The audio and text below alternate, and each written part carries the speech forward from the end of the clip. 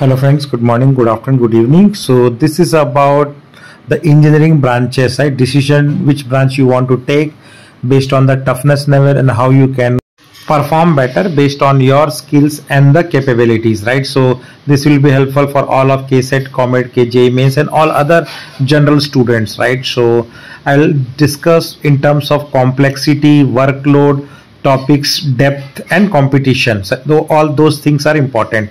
So if you see the toughest engineering branch across globe or across world everyone will tell you and that is correct. Electrical engineering is considered to be the toughest engineering branch for the reason that most of the things in electrical engineering are abstract concept. You cannot see electricity. You cannot see current. You cannot see resistance. You cannot see anything. So in this it is a heavy use of mathematics and physics. So students who are not good at maths and physics they should not go for this branch. This requires a heavy imagination about everything. Complex topics like power systems control systems signal processing those are all part of it even ECE is a similar topic, but I will talk about that later. Electrical engineering is considered to be the most complex engineering branch. Now, the second most complex engineering branch is mechanical engineering. Again, tough subjects you have like thermodynamics, fluid dynamics, machine design, manufacturing, and this requires a lot of intense lab and workshop. In india a lot of students mug up and they cram all the things and they become mechanical engineer. But you need to have intense lab and workshop experience before you should be you are able to do it by yourself right? And it involves a lot of physics and uh, mechanics which you saw in the JEE mains or the exam is not an easy subject. Now coming to the third most tough subject again it also involves both rigorous academics that te technically you should be studying much and also on-site application which is civil engineering. And making structural engineering geotechnological subjects are quite conceptually demanding and it requires a lot of imagination right? And if you do a one wrong design your whole of the bridges buildings everything goes fall apart. So it is one of the toughest subjects. And now fourth is the chemical engineering. For the reason that it has blend of chemistry it has blend of physics and some advanced mathematics is also involved if you go for higher studies in chemical engineering. So a lot of topics like process design reaction kinetics thermodynamics are challenging in nature and you also need to have a good memory in many of the topics in chemical engineering. So they that is also considered as one of the toughest branches now aerospace engineering is also similar to mechanical engineering. I could change the positions of aerospace. I can make it second mechanical field but those are common in nature. Aerospace is one of the toughest branch one of the most use of maths and physics. And aerodynamics propulsion flight dynamics are not easy subjects compared to other csc related subjects which we now see. So these are the top five toughest branches which you have to have good combination of maths and physics. Now let's see the sixth branch. So sixth branch is computer science engineering. So computer science engineering is a more application of mathematics. There is very less application of physics. There is very less application of chemistry.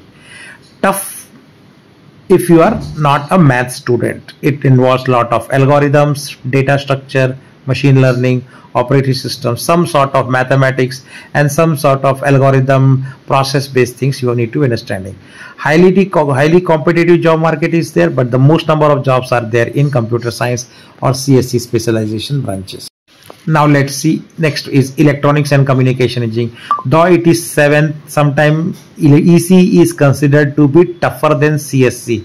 So ECE is tougher than CSC for the reason that it involves physics and maths both. So higher concepts of EC, uh, CSE are tough but generally generally EC is also very tough right compared to for the reason that it involves deep understanding of analog digital electronics and it also involves lot of imagination so semiconductor industry vlsi and are gaining momentum and good job opportunities are there in ece as well.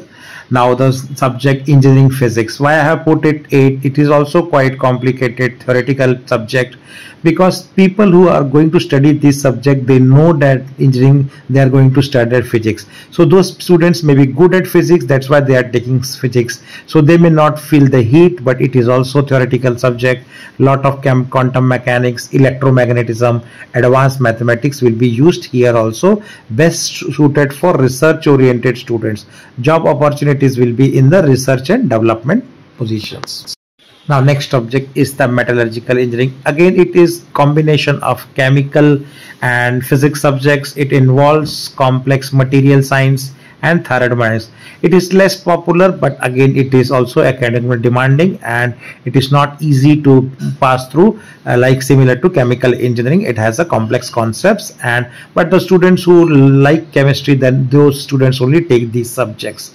Regular students don't take these subjects. Available in most of the NITs and IITs now the 10th is the instrumentation and control engineering so it is compared to be comparatively simpler than ece branch for the reason that uh, you know it uses heavy maths but again physics and all portion of it is little easier than the regular ECE or the electrical engineering. Requires a strong command of sensors automation control systems and other important things. So that's all so hope you it will help you based on how good you are at physics maths chemistry and overall concepts and what you want to study in that context. Thanks for watching. Please to subscribe channel to get similar updates on all the areas. Take